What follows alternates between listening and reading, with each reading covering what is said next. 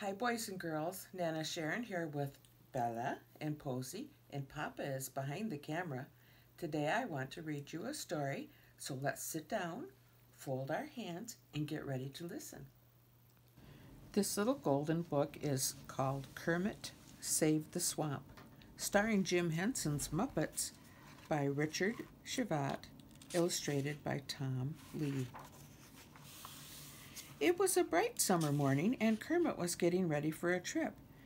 Hey, Kermit, where are you headed? asked Fozzie Bear, who was passing by. I'm going to visit some old friends back in the swamp, Kermit explained. I haven't been there for a long time, and I really miss the place. You do? Fozzie was surprised. Gee, Kermit, what's so great about a swamp? Why don't you come along and see, said Kermit. Me? Come along with you? Great, cried Fozzie, and he ran home to pack a bag. Soon they were driving through the countryside, heading for Kermit's swamp. What's it like in the swamp? asked Fozzie. I've always been too bogged down to visit one. Get it? Bog, bogged down. It's wonderful, said Kermit. The trees are tall and shady, the moss is cool and green, and there are beautiful water lilies everywhere. Wow, said Fozzie, and I thought a swamp was just full of icky old mud. Mud? That's the best part, Kermit said with a happy sigh. And we're almost there. Hey, what's that thing? said Fozzie as they turned onto a dirt road. In front of them stood a large billboard Swamp World, Kermit read out loud. I wonder what that's all about. Kermit and Fozzie headed on down the road toward the swamp. Look, it's a beaver pond, said Kermit. And there's old Fergus. He pointed to a beaver sitting on a log by the side of the pond. Hi, Kermit, said Fergus. Back for a visit?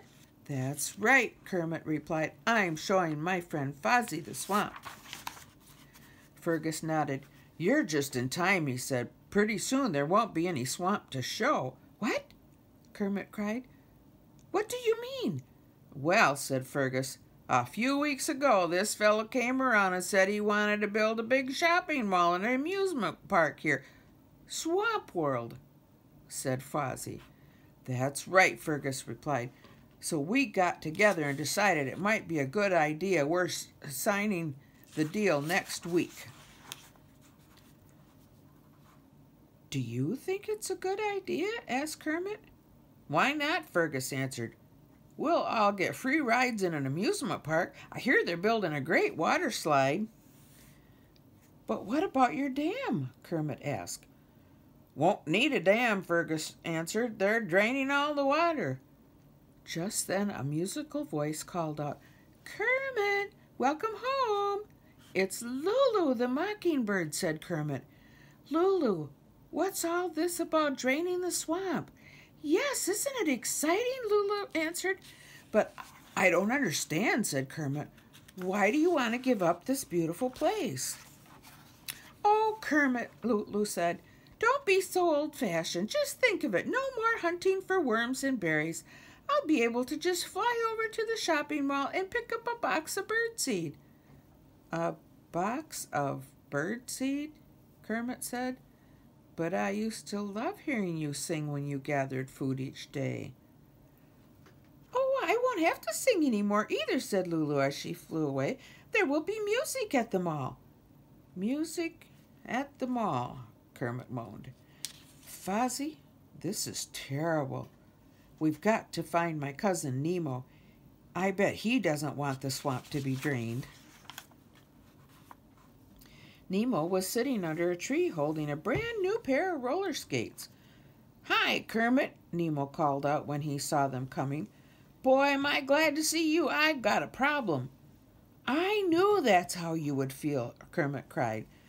I need someone to teach me how to roller skate, Nemo explained. I want to be ready when they put in the new sidewalks. Sidewalks? shouted Kermit. Who needs sidewalks in a swamp? Golly, Kermit, said Nemo. You can't roller skate on mud. Kermit shook his head sadly.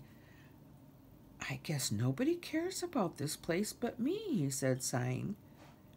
It's too bad, but at least you got here in time to say goodbye to it, said Fozzie, trying to cheer Kermit up. Suddenly, Kermit's face brightened. Fozzie, that gives me an idea, he cried. That night, Kermit invited his friends to a big party under the tree by Fergus's pond.